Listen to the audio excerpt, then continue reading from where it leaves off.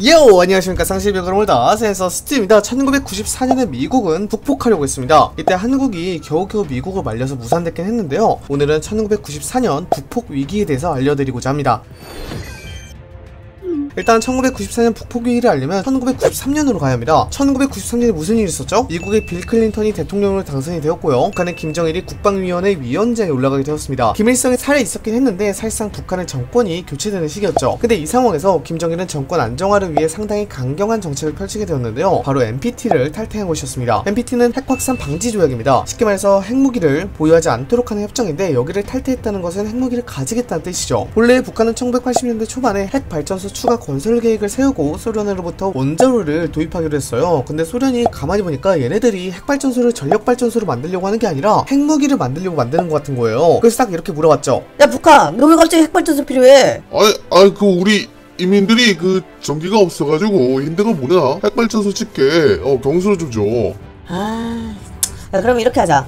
너희들 핵무기 만들면 핵동맹 현상 나니까 NPT 가입해. 왜? 그, 그냥 주면 안 되나? 아, 안 돼. NPT 가입해야지 경수를 줄 거야. 이렇게 해서 북한이 1985년에 NPT에 가입한 것입니다. 그래서 NPT에 가입한 조건으로 소련으로부터 경수로 4기를 공급받게 되는데요. 그리고 1992년에는 핵 안전 조치 협정까지 맺음으로써 완전히 NPT에 감행하게 됩니다. 근데 문제는 이 NPT에 가입하게 되면 핵 개발이 의심되는 국가들은 IAEA로부터 시차를 받게 됩니다. IAEA는 국제 원자력 기구인데 핵무기 보유를 감시하는 단체거든요. 근데 IAEA가 가만히 보니까 북한이 핵을 개발하고 있는 것 같은 거예요. 그래서 IAEA가 북한의 상대로 핵 사찰을 실시하게 됩니다. 근데 사찰을 해보니까 북한의 플루토늄 추출 량이 신고한 내용이랑 다른 거예요. 야 이거 뭐야 이거 지금 핵 개발한 거지? 어, 어, 어, 아, 아, 아, 아, 더 까보자. 야 영변 핵시설 좀 의심스러운데? 핵 개발 무조건인 것 같은데? 아, 아니, 아, 아니라니까? 그래서 IAEA가 1993년에 북한이 핵 개발을 하는 것 같다면서 북한의 특별 사찰을 요구했는데 이때 북한이 IAEA의 특별 사찰을 거부하게 됩니다. 이게 IAEA 사찰을 거부했다는 것은 세계 질서의 정면으로 대결한다는 뜻이기도 하거든요. 그리고 북한이 핵 개발을 한다는 명확한 심증이 나와버린 거죠. 이렇다 보니까 한반도에서 북핵 위기가 시작됩니다. 근데 앞서 말했던 것처럼 미국이랑 북한이 정권 교체 시기입니다. 미국이랑 북한이 국내 각종 정치적인 이유로 강경하게 나오기 시작한 거예요. 북한이 IAEA 시찰을 거부하게 되니까 1993년에 한미 양국은 팀 스피릿 훈련을 재개하는데요. 팀 스피릿 훈련은 쉽게 말해서 오늘날 한미연합 훈련이라고 생각하시면 이해가 쉬울 것 같습니다. 근데 북한 입장에서는 상당히 위협이 되는 훈련이었습니다. 아니 북한 입장에서 생각을 해보자고요. 갑자기 B-52 몇십 대가 날아다니고 항공모함 오고 몇십만 명에 달하는 병력이 하는 훈련인데 위협이 될 수밖에 없죠. 근데 이 팀 스피릿 훈련이 1991년에 남북 기본 합의서 제정과 미국의 전술 핵무기 폐기 선언을 계기로 해서 잠시 중단이 되고 있었는데 북핵 문제가 뜨다 보니까 한미 양국이 북한을 압박하기 위해서 이 팀 스피릿 훈련을 재개하게 된 겁니다. 근데 문제는 북한은 생각보다 더 미친놈이었던 겁니다. 북한의 김정일의 정권 안정화를 위해 NPT 탈퇴라는 강수를 두게 된 겁니다. 해볼 테면 해봐 이런 마인드로 NPT를 탈퇴해버린 거죠. 이렇게 되니까 국제사회가 난리가 납니다. NPT를 탈퇴하겠다는 것은 핵무기를 본격적으로 개발하겠다는 의미기도 하고 마음만 먹으면 빨리 핵 개발해서 핵전쟁을 일으키겠다는 의미로도 해석이 되거든요. 그래서 한국하고 미국에서 난리가 나서 일단 북한 핵 개발을 막아야겠다는 생각으로 협상을 하게 됩니다. 다행스럽게도 1993년에 두 차례 북미회담을 통해서 NPT 탈퇴를 유보하는 데는 성공을 했는데 문제는 이게 완전히 해결된 게 아니었습니다. 뭐 외교라는 게 늘 그런 거겠지만 한국과 미국이 생각하는 궁극적인 목표였던 북한의 완전한 비핵화를 끌어내지는 못했습니다. 그렇다 보니까 계속해서 북핵 위기가 고조되고 심지어 백악관과 청와대 내부에서 강경론자들이 득세하기 시작하면서 핵을 갖기 전에 전쟁에서 막아야 한다는 주장이 본격적으로 나오기 시작했죠. 그래도 전쟁은 최후의 수단으로 써야 하는 것이기 때문에 이런 주장들은 계속해서 억누르면서 북한과의 협상을 이어나갔습니다. 근데 여기서 북한이 트롤 짓을 해버립니다. 1994년 3월에 남북 간 협상에서 북한이 서울을 불바다로 만들어버리겠다는 발언을 해버린 거죠. 여기서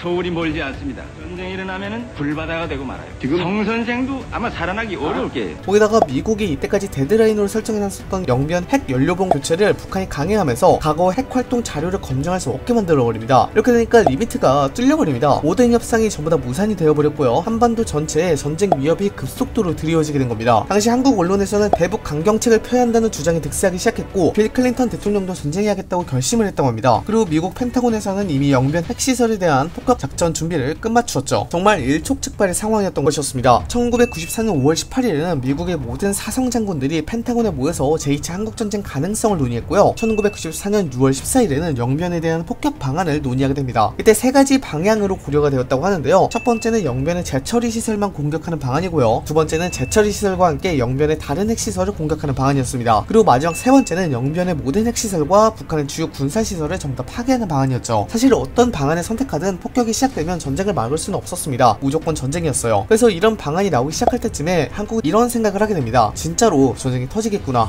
미국의 의지가 엄청나구나 라는 생각을 하게 됩니다. 어느 정도였냐면요. 1994년 6월 16일날 미국은 청와대에 이런 말이 전하게 됩니다. 한국 내에 미국의 민간인들을 전부 철수하겠다. 미국인 소개 계획을 한국에게 전달한 것이죠. 이 사실이 청와대에 알려지자 청와대에서도 난리가 났습니다. 전쟁은 나겠거니 생각을 하고 있었는데 미국이 진짜로 전쟁 직전에 하는 행동인 자국민 소개 계획을 짜버리니까 경악을 해버린 거죠. 근데 김영삼 대통령이 생각해보니까 아무리 생각해봐도 전쟁은 아닌 거예요. 충분히 막을 수 있는 수단이 있을 거라고 생각을 합니다. 그래서 한국은 미국을 어떻게든 말려보게 되는데요. 미국에 강력하게 항의하면서 전쟁만 하지 말자고 요구를 하게 되죠. 어느 정도였냐면 너희를 소개를 못하게 우리 협조 안 할 거다. 이런 식으로 완강히 거부했고 또 2시간 동안 클린턴 대통령을 만류하고 있었어요. 일단 미국 백악관에서는 전쟁을 어떻게 하면 할지 계획을 짜고 있었다고 합니다. 그 계획을 보니까 5만 명의 지상군과 400대의 항공기 그리고 다수의 로켓 발사대와 패트리어트 미사일을 추가 배치해서 대규모 병력을 한국에 배치하고 북한을 끝장내겠다는 계획을 세웠죠. 이미 펜타곤에서는 계획이 끝났고 빌 클린턴 대통령의 선택만 남은 상황이었습니다. 그래서 서류에 사인을 하려던 순간에 백악관에서 전화벨이 울렸다고 합니다. 개인 자격으로 평양을 방문해서 김일성을 만나고 있었던 지미 카터 전 대통령이 백악관에 전화를 건 것이었죠. 그 내용은 북한이랑 협상을 하고 있는데 미국이 군사 제재와 병력 증강을 안 하면 재처리 문제를 빠른 시일 내에 협상하겠다는 제안이었습니다. 북한이 꼬리를 내린 거죠. 이 전화를 딱 받으니까 빌 클린턴은 역으로 북한에 제안을 합니다. 북한이 모든 재처리 활동을 중단하면 당장 병력을 물리겠다고 제안합니다. 다행스럽게도 김정일보다 더 높았던 김일성이 미국의 제안을 수용하면서 위기가 수습되게 됩니다. 정말 싸이만 하면 전쟁이었던 상황에서 가까스로 카터 전 대통령과 한국의 만류 덕분에 전쟁이 안 나게 된 것입니다.